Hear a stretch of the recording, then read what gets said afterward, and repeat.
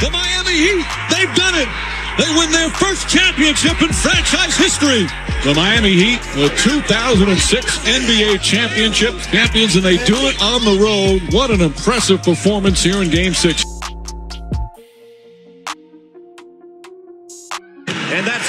For the third straight season, New York has eliminated Miami in a deciding game. The final score today in Game 7, New York 83 and Miami 82. And after all those playoff battles and heartaches, it was time for change. And heading into the summer of 2000, change would come. And the Miami Heat roster would be dramatically different. This is a disease in which the filters of the kidney leak protein into the urine. If you continue to leak, leak large amounts of protein into the urine for a long period of time, eventually you would need dialysis or a transplant. Pinned on the hip, takes the contact and puts it through. And Miami's on a 12-3 run over the last four and a half minutes. Alonzo Mourning celebrates as the Heat tie it at 91. There will require an adjustment period for Alonzo Mourning to get back into it. His immersion into the NBA stream is going to be gradual. He's not going to be playing the 35 minutes. You're getting the best defensive player in the NBA because of my dedication to this game. Over the years, I've been extremely committed and overcome all of the obstacles, trying to put the Miami Heat in a position to win a championship. Not but one more thing to play for right now, and that's a championship. It'll be three. So Anthony Carter, starting in place of the injured and ineffective Tim Hardaway, has picked up three fouls. Now, Pat Riley is bent out of shape. Bruce Bowen, a very, very poor free throw shooter. 47, 48%. He's got to step up. He's missed a lot of crucial free throws in Miami in tough situations. 48% for the regular season for Bruce Bowen. Five-time All-Star just four years ago, first-team All-NBA, and now settling into his role a little bit better. You've been a starter all your life, and now you're a role player off the bench. He's a hard-nosed guy, and he's a guy who wants to win, so he's going to make that adjustment. I'm not really concerned about where I am. I'm concerned about where the team is. You know, I'm I'm pretty much focusing on trying to uplift the player, the team, and try to the minutes that I'm out there on the court, make sure they're positive minutes so that um they're productive minutes so that we're winning. Alonzo Mourning, a 65% free throw shooter. In fact, the Miami Heat are next to last in the NBA at 68%. Well, you can see the season he's down with the points, field goal percentage is down, and then also the rebound. Alonzo Mourning's comeback has been slowed once again. The Miami center will be out indefinitely after doctors reviewed his latest blood test. Mourning missed three of Miami's last five games. He's still taking medication for the kidney disorder that was diagnosed last season. With the 10th pick in the 2002 NBA draft, the Miami Heat select Caron Butler from the University of Connecticut.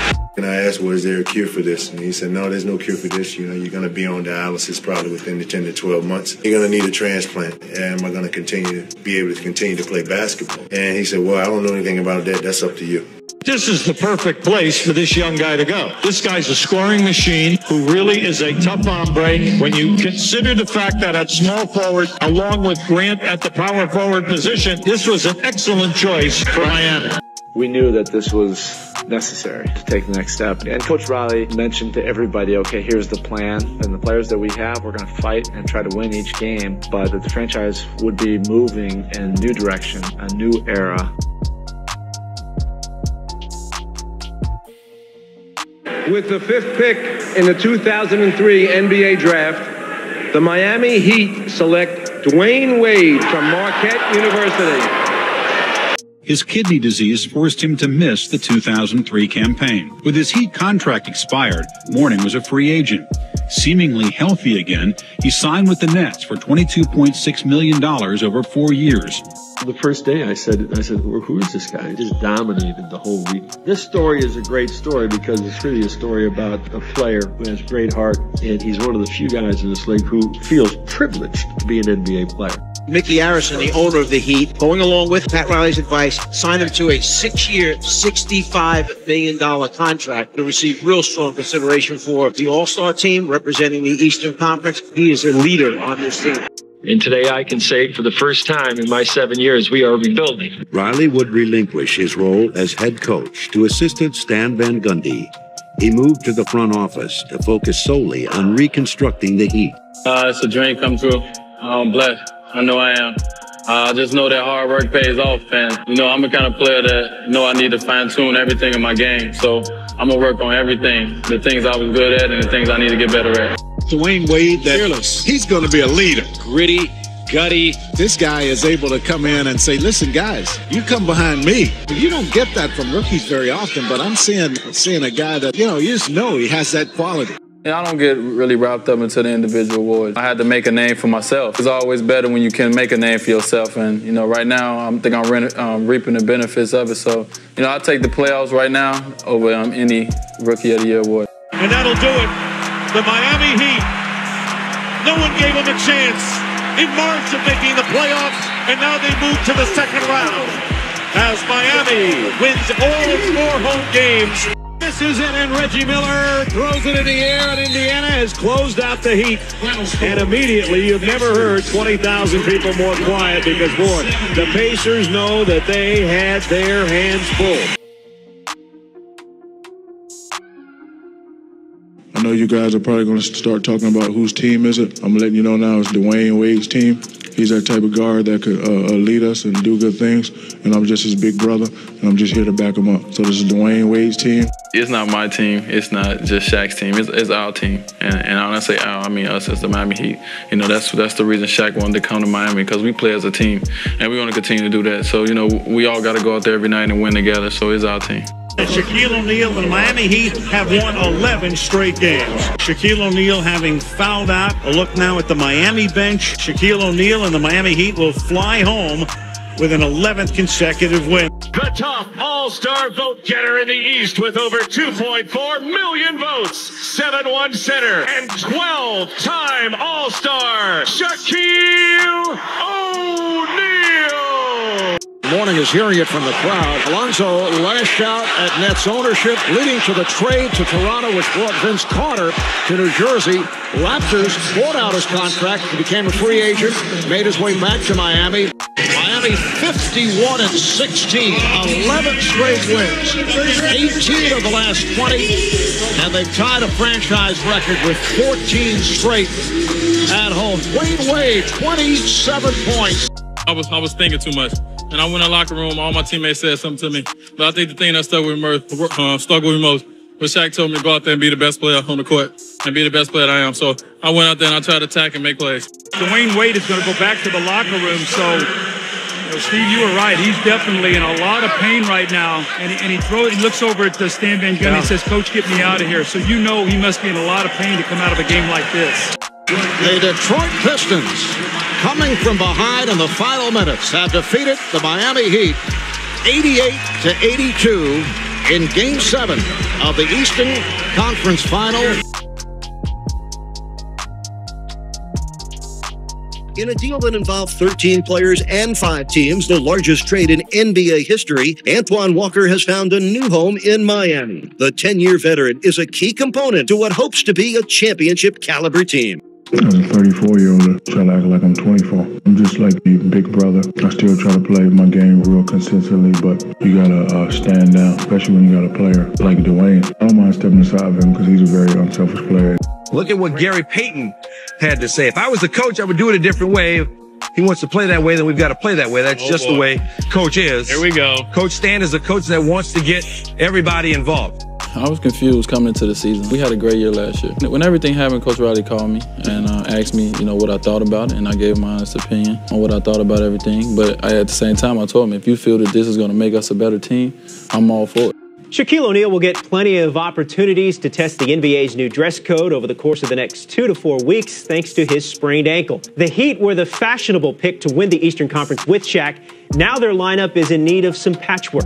He never lost the slick back hairstyle, and apparently Pat Riley never lost the urge to coach. The four time NBA champion boss retook the reins in Miami as Stan Van Gundy stepped down. Van Gundy walks away from the Heat because he wants to spend more time with his family. All these veteran players that haven't won a championship collectively get together with a resolve as entitled as some guys that have never won a championship till they feel, hey, look I deserve one of these, I want one of these, and they do all the things they need to do to get one. The Miami Heat move on to the Eastern Conference Finals. Carter was denied on the pass. Dwyane Wade and the Heat for the second consecutive year go to the Eastern Conference Finals.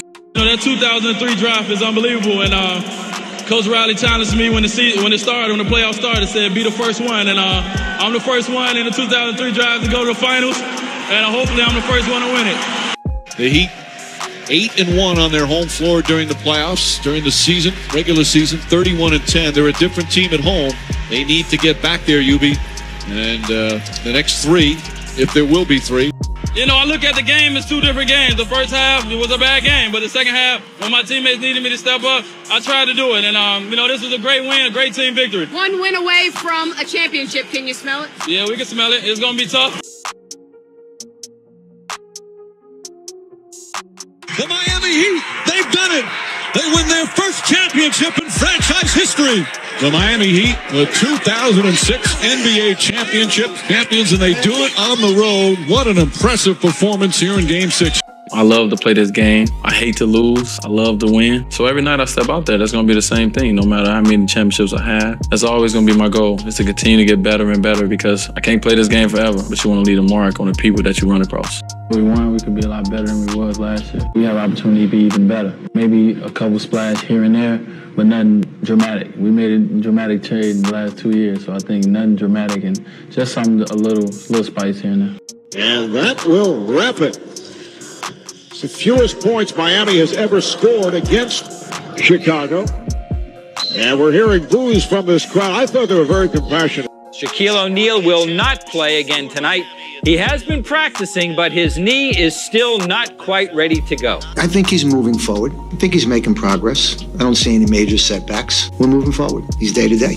You forget when you become a world champion, you win a world championship, all of a sudden you think you're a King Kong. You think you dominated everybody. We forget about how hard it was and, and how hard we had to play to win a title. We're not fighting for it like we did last year. Dwyane Wade holding either his elbow or his shoulder as Battier goes to make the pass. In fact, he's in so much pain, even though it's an apparent shoulder or elbow injury, he leaves in a wheelchair. 2006. Foul shot attempt 16. Before the injury, 11 this season. And now, since the injury, only six foul shot attempts a game. So we're saying, is he hurting? Only he knows. Can he finish with his left hand? The Baby Bulls grew up. They'll be a new champion in the NBA. The Chicago Bulls have eliminated the Miami Heat, swept them in four, and the second city is back feeling good about basketball again. Gary Payton has been selected for the NBA Hall of Fame. Gary Payton, who retired from the NBA in 2007 after an 18 year career in Seattle, Milwaukee, Los Angeles, Boston, and Miami. Even with Shaq, that it was Posey as a guy who set the tone defensively for the club the last couple of years. Called him a guy who could defend a one, two, three, and four. And he said, right now, we're searching for a guy who can replace him and can do that. He said, it's just not that easy to find. If winning is an acquired taste, the Miami Heat enters the 2007-2008 NBA season still searching for the recipe. To some, this coming season will be little more than the final chapters for Riley and O'Neal, leaving Wade on his own in the years to come.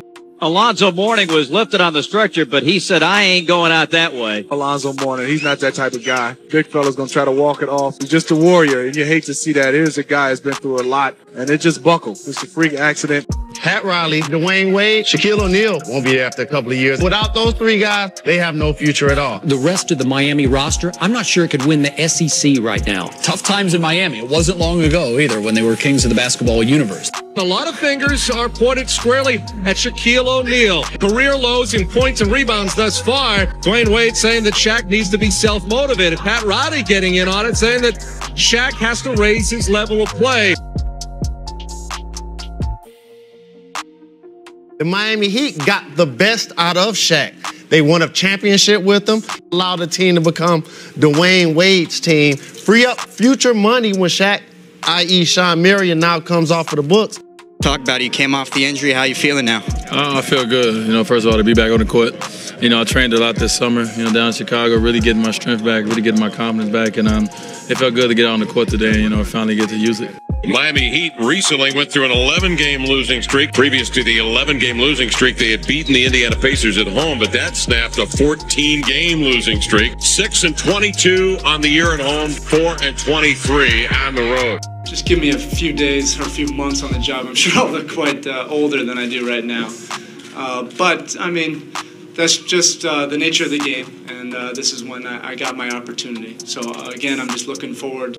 With the second pick in the 2008 NBA Draft, the Miami Heat select Michael Beasley from Kansas State University. You know, taking a year off, I'm 33. I would have wanted to see what I could do too before something happened. But my championship experience maybe will rub off a little bit. But I'm not really one to be vocal and, and try to tell people with my mouth. I just try to just, just show by my actions. So I'm just here to help. He's a big time natural scorer, and you just can't teach him. I think with Wade back, Shawn Marion, and now adding Beasley, they're going to be very, very hard to guard. It's an incredible talent. This guy can flat out score, and he gives another weapon alongside of Wade. So they know that they are going to be a playoff team, and they know in the postseason that they are going to need a post presence, both offensively and defensively. And Jermaine O'Neal was the best option available to them.